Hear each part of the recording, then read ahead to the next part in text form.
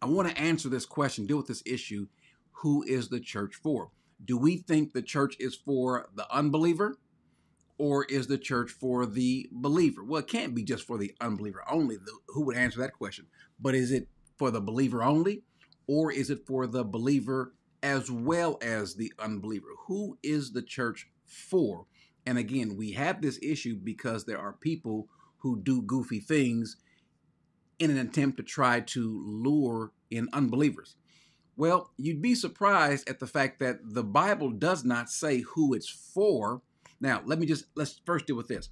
When we say the church, do we mean the body of believers or do we mean the building that the church believers go to and have the service?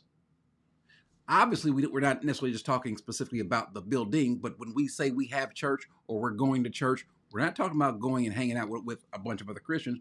We're talking about meeting up at a specific location where there is a pastor, there's music, uh, there's a place to sit. So we're talking about a building where the believers are at.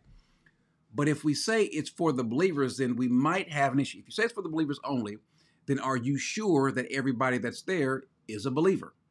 And if everybody's not there who is a believer, if everybody that's there is a believer, or is not sorry, is not a believer, then what do we do with the unbelievers there? You don't turn you don't put them out. You don't change your tune, do you? You keep giving the word. And so I think it'd be wrong to take that stance. And if you say that the un, for the unbeliever, well then do you dumb down the service? Do you bring the word of God down for them to understand? Well, let me just say this first of all we think sometimes that when we dumb down the word or we bring it down, we, we shouldn't bring it down for the unbeliever and make them feel comfortable. Truth be told, there are a lot of believers who need you to bring it down a little bit as well. That's just what it is because there are just as many believers who need to learn and grow in the scriptures as some of the unbelievers. Matter of fact, sometimes we find that the unbelievers might know the scriptures better than some of the believers. What is the body for? The body, the church, the gathering the gathering or the assembly. Uh, Paul, the writer of Hebrews says, do not neglect the assembling together. This word for for uh, church ecclesia means congregation, assembly, a gathering, and so do not do not neglect or forsake the gathering. Who is the gathering for? Well, the gathering is for everybody. We don't find a scripture that says it's just for the believer. We don't find a scripture that says it's, it's for the believer and unbeliever. It is the gathering. Now, the body, the actual body, obviously, that's only made up of actual Christians. You have to be an actual believer. And I don't mean the person who says they're a Christian, because there are people who call themselves a Christian and aren't. There are people who call themselves believers who we take in and treat as believers, but God knows better. God knows that they actually are not believers. Are you with me? And so, what we're trying to do is we're trying to get as many people as possible to hear the word of God. What we don't want to do is we don't want to dumb down the word of God. As a matter of fact, when we look at the pattern of the of the believers in Acts, we see this. In Acts 2:37, it says, "And now when they heard this, they were they were pierced to the heart. And Peter said to them, and the rest of the apostles." So he's speaking to believe he's speaking to a lot of non-believers at this point.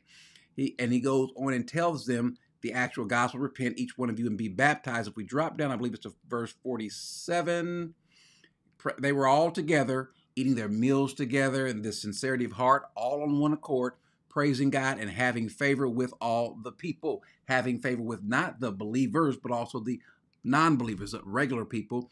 And what was happening? The Lord was adding to their numbers daily those who were being saved. So it wasn't just the saved people in Acts who were coming together, it was the saved as well as the unsaved. But what they did not do that we tend to do nowadays is they did not water down the word. They did not diminish the importance of one speaking about their sin and their need for a savior, and then obviously two highlighting the savior. That's important because today people do not like to highlight the savior. They instead want to highlight themselves. We'll talk about that in just a little bit, but there also must need be the preaching that mankind in his own state is on his way to hell. That's the bad news. As a matter of fact, that's just the news. That's just how it is. But the good news comes where we say that there is a remedy for that. And we also notice that there needs to be some sort of decorum and some sort of protocol because here we have Paul speaking about, now he's not speaking about unbelievers or the church service specifically. Actually, I take it back. He actually is. He actually is speaking about the entire church service. But notice what he says in chapter chapter 14 of First Corinthians. You know, yeah, let, us start in verse 23. He says, Therefore, if the whole church, that is this body, this gathering, the assembly, if they come together and all speak in languages, now we're not talking about tongues today, but if they come in, they're speaking in tongues or in languages, and an ungifted or an unbeliever enters, meaning guess what? An unbeliever will come in. They're not shocked at this. This is just what's going to happen. That they will come in. Will they not say that you are mad? And so he gives a kind of an order of how things ought to be in terms of everybody wants to have a have, have a psalm. Someone has a word. Someone has a revelation. Someone always you all you guys always have something special to say. Why can't the word be special? So what does Paul say? Let everything be done decently and in order. All the arguing, all of this, all of that, or whatever. Uh, some of you ladies, hey, be quiet. You people here who have all these different gifts to show, sit down. Let everything done decently and in order.